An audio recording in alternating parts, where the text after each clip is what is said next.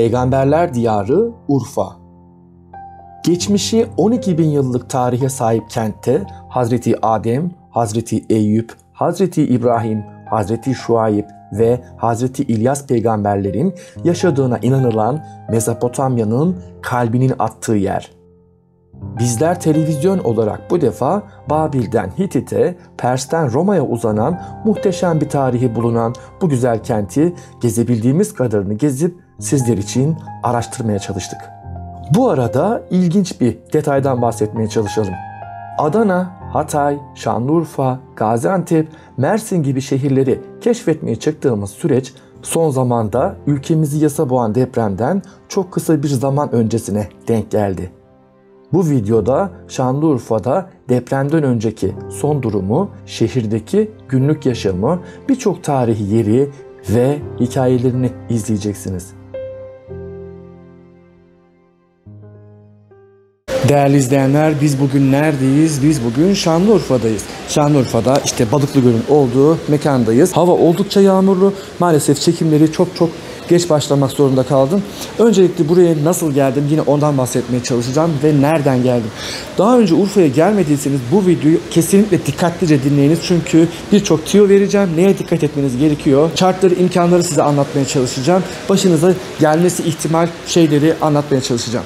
Ben buraya Antakya'dan geldim. Antakya'dan ortalama 7,5 saat gibi bir e, yolculukla otobüs yolculuğuyla buraya geldim. Ne, ne kadar para verdim peki? 300 TL gibi bir para verdim. Buraya geldim şehir merkezine indim. Burada birçok otel bulunuyor. Otel seçerken lütfen dikkat ediniz çünkü çok salaş oteller var. E, otel fiyatları oldukça pahalı. Ne kadar fiyattan başlıyor? 600 TL gibi taban fiyatı 600 TL. Öğretmen evinde kalabilirsiniz.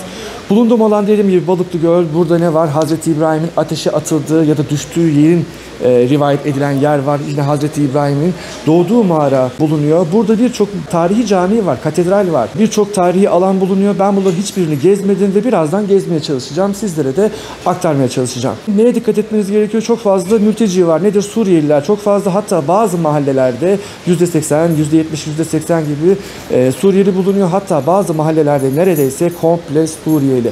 Tabii ki de bir kültür kargaşası. Benim tespitimle peki daha öncesinde Diyarbakır ve Mardin'i gezdiğim zaman Diyarbakır daha böyle kurşuni renklerde, Mardin ise daha kızıl gezegen gibiydi. Urfa ikisinin tam karışımı. Fakat kargaşa bir şehir yani karma karışık. Geldiğiniz zaman belki de çok çekineceksinizdir. O yüzden bu videoyu özellikle dinlemenizi istiyorum, izlemenizi istiyorum. Ve burada kokartlı olmayan rehberler bulunuyor. Yani yoldan geçerken herhangi birisi kardeşim gel seni gezdireyim, sana tarihi anlatayım dediğinde bunu ciddiye almayın. Çünkü ne yapmışlar, ne yapmışlar? Kokartlı rehberler var. Kokartlı rehberlerle buranın tarihini, gerçek tarihini öğrenebilirsiniz. Ben de o şekilde yapacağım. Ve yine e, bir seyyah olarak gezmeye çalışacağım. Şehir merkezini, buradaki dediğim gibi e, tarihi yapıları, camileri, varsa kalesi, yine Ulu Cami'nin olduğunu öğrenmiştim. Orayı gezmeye çalışacağım. Bir şey de dikkatimi çekti. Bediüzzaman Said Nursi'nin bir talebesinin de burada kabri bulunuyormuş. Onu da ziyaret etmeye çalışacağım. Urfa'yı tanımaya çalışacağım. Gerçekten yine hiçbir şey bilmiyorum. Her şeyi spontane bir şekilde gezerek, öğrenerek yaşamaya çalışacağım. Sizlere de aktarmaya çalışacağım.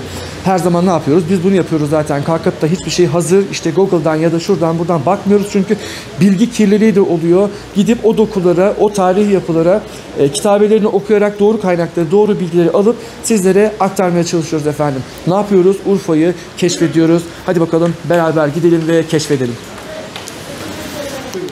Dostlar neredeyiz? E, kalenin dibindeyiz. Yanında Hüs- yanımda Hüseyin kardeşim var. Hüseyin kardeşim burada esnaflık yapar. Şimdi bize kalenin hikayesini anlatacak. Biz de keyifle dinleyeceğiz. Buyurunuz Hüseyin Bey. Merhaba, hoş geldiniz. Teşekkür ederiz. Hocam şimdi buralar Hazreti İbrahim peygamberin e, yaklaşık 4000 yıl önce yaşadığı yerler olarak biliniyor. Hazreti İbrahim toplamda burada 17 yıl yaşıyor. 17 yıldan sonra buradan Filistin'e ondan sonra Mekke'ye gidip Kabe'yi inşa ediyor. Şu anda türbesi de Kudüs'tedir.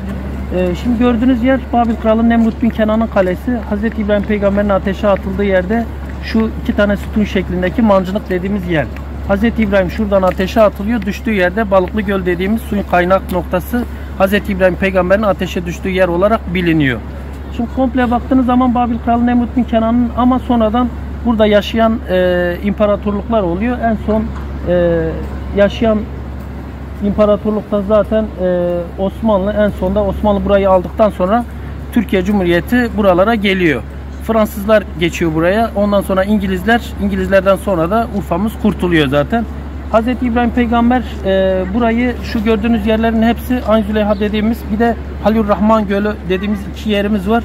Ayn Züleyha e, düştüğü yer olarak bilinen yer şurası tam şu karşısı. Halil Rahman Gölü dediğimiz yerde şu ilerisi sağ tarafta Hz. İbrahim Peygamber'in ateşe düştüğü yer olarak biliniyor. Olaylar da şöyle milattan önce 2000 yılında toplamda 4000 yıl önce Hz. İbrahim Peygamber'in putperestliği kabul etmeyip Allah'a inanmasıyla putları kırdıktan sonra Babil kralı Nemrut bin Kenan gördüğünüz bütün alana 40 gün boyunca köleleriyle odun topluyor. Odunları ateşe veriyor. Hz. İbrahim'e o iki tane sütunun arasına koyup fırlatıyor. Hz. İbrahim havada uçarken Cebrail aleyhisselam yanına gelip bir isteğin olup olmadığını soruyor. Hz. İbrahim de benle Allah arasına girme. Allah beni görür dedikten sonra Allah buradaki dünyanın en büyük ateşine Enbiya 69. ayetine geçen emri veriyor. Kulna yanaru kuni berden ve selamen ala İbrahim. Ey ateş İbrahim'e karşı serin ve selametli ol emrini aldıktan sonra ateş suya içindeki odunlarda balığa dönüyor. Rivayet bu şekilde. Peki Hüseyin Bey çok teşekkür ederiz verdiğiniz bilgiler için. Çok İyi sağ olasınız. Sağ olun.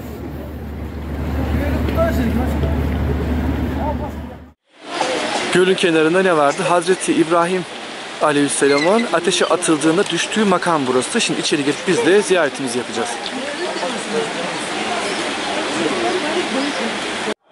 İşte Hazreti İbrahim'in ateşe atıldığı e, yerin ziyaretgahı burası. Şifalı olduğu rivayet edilen su da burada.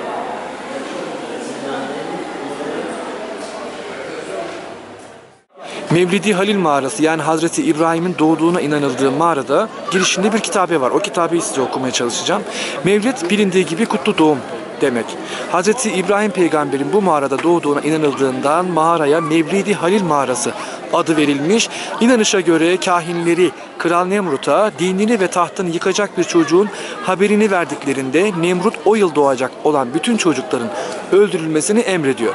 Bu arada hamile olduğunu anlayan Hazreti İbrahim'in annesi Nuna Hatun bir müddet hamileliğini gizledikten sonra doğum günü yaklaşınca gizlice bu mağaraya sığınır ve Hazreti İbrahim burada dünyaya gelir.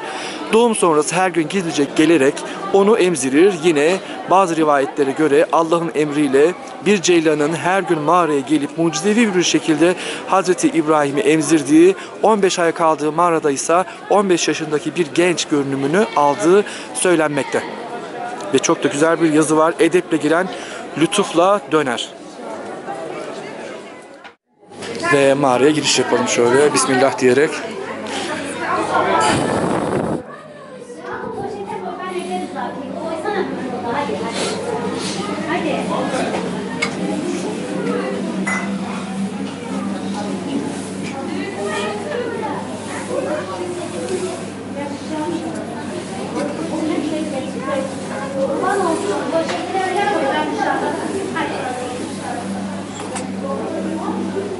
Ver şu poşeti bana.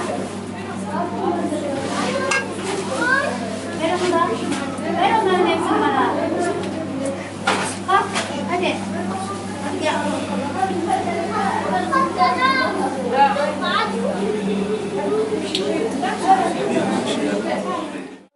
Dostlar Hazreti İbrahim'in ateşe atıldığı mekanın hemen yanında bir cami bulunuyor. Cami Halil Ür Rahman Camii. Kitabesinden okuyacağım size. Ne yazar kitabesinde? İlk olarak 504 yılında inşa edilen kilise yapısı 1211 yılında Eyyubi Meliki Eşref Muzafferuddin Musa tarafından camiye dönüştürülmüş. Minare kitabesinde Abdülmennan ismi geçmekte. Ve şöyle devam ediyor. Balıklı Göl'ün batı ve güneybatısını çevrelen alanda cami, medrese, Hazreti İbrahim makamı, hazire ve muvakkithane yapılarından oluşan bir külliye. Ünlü seyyah Evliya Çelebi bu camiden İbrahim Halil Tekkesi olarak bahsediyor. Caminin şöyle bir ilginç tarafı da var. İki farklı yapı var aslında. Bir tanesi daha eski yapılan kısmı, işte şu an görmüş olduğunuz kısım. Ve ikinci kısım. Gel gel.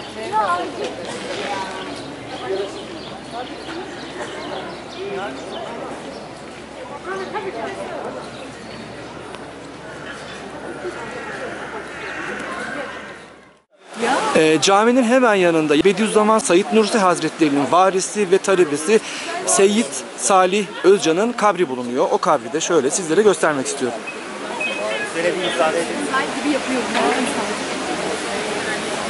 Ne yapıyorsun? Yemek mi yiyorsun?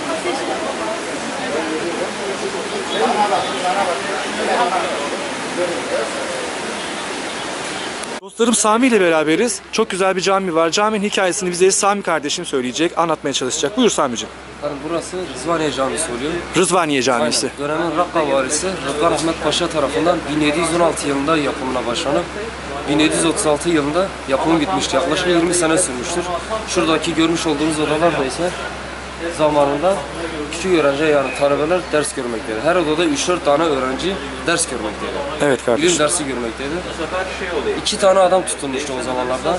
Her gün dağa çıkıp avlanıp öğrenciler her gün et yesinler diye iki tane görevli tutulmuştu o zaman. O şekilde bir şey var yani hocam. O şekilde. Bak bu böyle kuzey tarafında oluyor zaten kendisi. Adam eksikler mi? Tamam çok an teşekkür ederiz. senatlar olarak kullanılıyor. Çok teşekkür ederiz kardeşim. Sağ olasın. Kardeşimin bahsettiği odalarda bunlar. Burada birçok sanat eseri de bulunuyor. Bakınız şöyle hemen yine buraya geldiğiniz zaman hediyelik eşya alabileceğiniz güzel dükkanlar var. Ahşap e, eşyalar bulunuyor şu şekilde. Hatta bir geri geleyim. Burada bir e, medrese de bulunuyor. Onu göstermeye çalışayım size.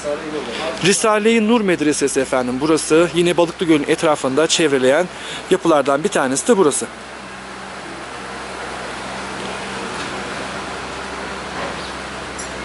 E bu arada Urfa'ya gelecekseniz planlarınızı iki günle, üç günle sınır- sınırlamayın çünkü gezecek birçok yer var. Hava yağmurlu olduğu için ben biraz geç çıkmıştım. O yüzden e, açıkçası zor çekim yapıyorum. E, kamera ıslanıyor malum. İşte bahsetmiş olduğum odalar. Şurada çok güzel süslemeli bendir ya da tef. Şu şekilde.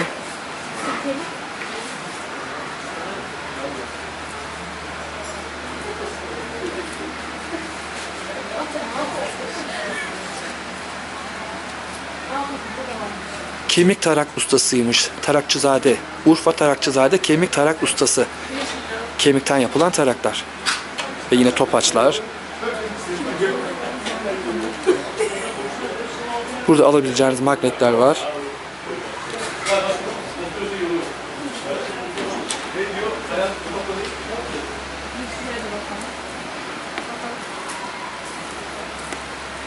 Yine burada ne var? Güzel hat sanatıyla yazılmış tabaklar yaptırabilirsiniz.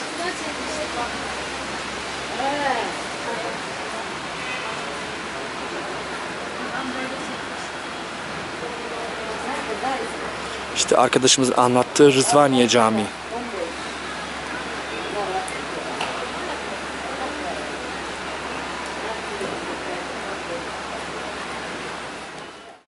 Dostlar burası tarihi çarşı. Birazdan giriş yapacağım. Şöyle bir panoramik bir e, görüntü alayım dedim. Çarşıdan başlayarak şöyle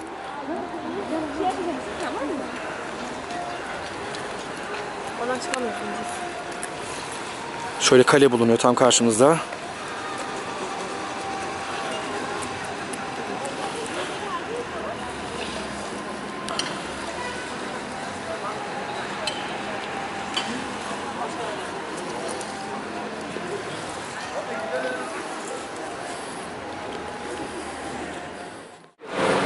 Balıklı Göl'ün hemen girişinde bir cami bulunuyor. Heybetli bir cami, güzel bir cami. Nedir caminin adı? Hasan Padişah Camii. Kitabesinde şöyle yazıyor. Hasan Padişah Camii 14. yüzyıla tarihlenen Toktemur Mescidi'ne bitişik olarak 15. yüzyılın ikinci yarısında Akkoyunlu hükümdarı Uzun Hasan tarafından yaptırılmış. Avlunun kuzeyinde tek şerefeli bir minaresi olup Halil Ürrahman Gölü'nden gelen su caminin avlusundan geçmekte. Urfa'da camileri gezmeye devam ediyoruz. Bu görmüş olduğunuz cami Ulu Cami efendim. Ulu Cami'nin bir kitabesi bulunmuyor. 1170 ile 1175 yılları arasında Hüseyin Zengi adında bir zat tarafından yaptırılmış.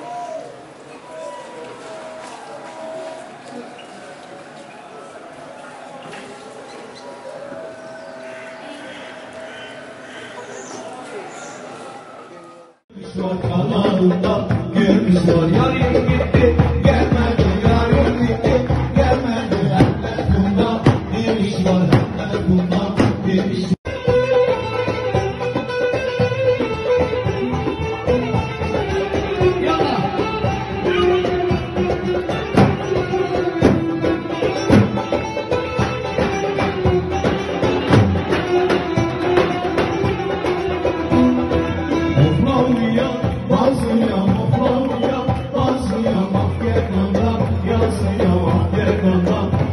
Señor, Señor,